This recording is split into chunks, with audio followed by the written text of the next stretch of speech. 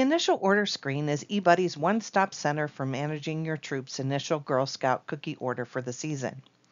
You use the initial order screen to input totals from traditional order cards, order cookies for plan booth sales and other needs, keep track of online orders for in-person girl delivery, and approve any parent initial orders.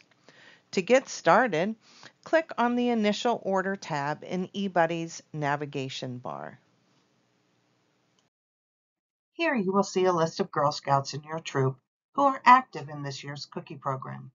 Beside each girl's name, you will see their current order card orders and any girl delivered online orders, if your council has selected that option. Please note that your girl orders are submitted in packages.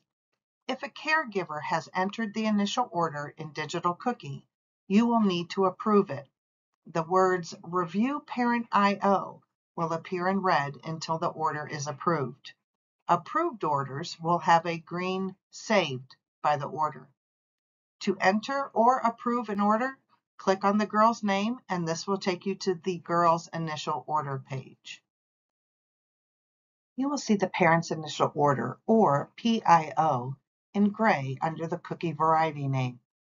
It is part of the order card order. You can make any changes if needed. You will also see the girl delivery orders from Digital Cookie. Once you are satisfied with the order, click on Save. At the bottom of the initial order screen, you will find rows where you can add your troops order for Plan Booth sales or any additional cookie inventory that you need. Just click on the Other or Booth rows and enter the values for each variety. The initial order phase of the cookie season, you can return to the initial order screen and update totals as often as necessary.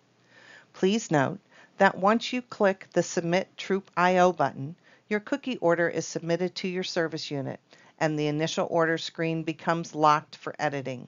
So be sure your initial order is complete, all orders have been approved and saved, and all orders are correct before clicking the Submit Troop IO.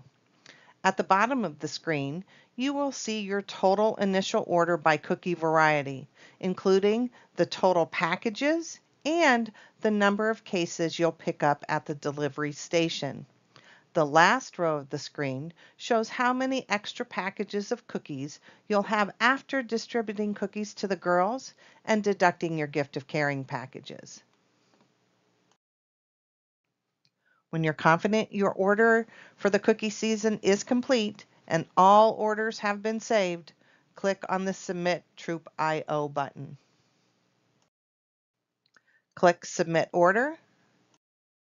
Click OK. Your troop's initial order is now submitted. Thanks for watching.